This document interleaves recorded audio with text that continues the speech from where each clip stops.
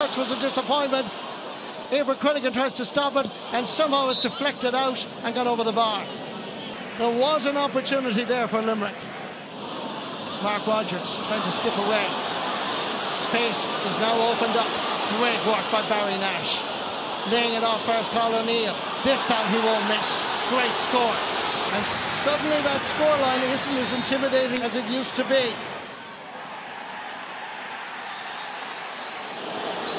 To Limerick. 65 metres out. Driving in low.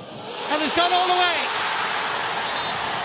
Diarmaid Byrnes has brought Limerick back into the match with a low trajectory shot.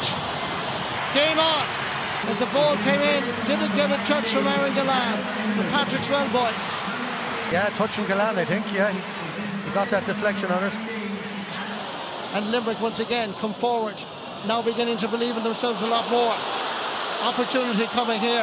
Clare back there now, a lovely little ball inside. Here's a chance. O'Donnell, brilliant. Brilliant goal. The stick work. Donegal O'Donnell from Monaghan puts Limerick in front. What a remarkable response by the All-Ireland and Munster champions. Limerick's second half has been way better, said that, but they're showing why they're the All-Ireland champions now. And Limerick are all over Clare now. Adam English going into the space. Clare marking is is very lax. John Conlon has left Gearóid Hegarty unmarked. Here comes the second shot. Oh, and it's gone in, is it? It's a goal by Gillane. Aaron Gillane. Referee Colin Lyons is going in. Question of a square ball. I don't know if it went wide, I'd say. Here, let's have a look here as Gearóid Hegarty was unmarked. Sent in the shot.